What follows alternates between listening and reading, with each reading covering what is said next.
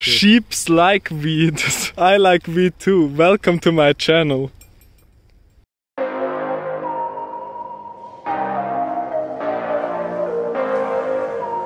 Hi guys and welcome back to another video. Today I don't want to bring you another strain review, but I want you I want to present you some edibles. And today we're gonna take a look at some really nice sugar cubes I've recently gotten my hands on. As you can see here is the visual appearance. They are like little sugar squares. They come they come in two colors and they taste different but the THC content is the same with both. I know that they are um, made using concentrates and I have to say they really hit you. But first let's talk about the taste. And the taste is really nice with those edibles because um, you really have that nice cannabis flavor in there but it's also very sweet and I've eaten some truly disgusting cannabis brownies. But this this stuff you can just you um you don't swallow it. You suck on it for some time. I don't think that's the right word but i don't really care. So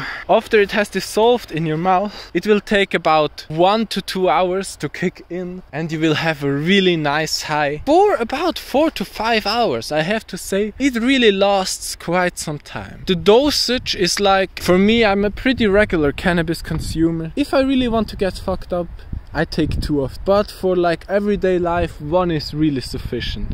And it will get you nice and high. Of course you can also take more than two but um, I had a friend who took four one time and he told me that the experience really reminded him of magic mushrooms. So I would maybe um, eat those brownies um, like in smaller dosages if you don't want to get completely fucked up.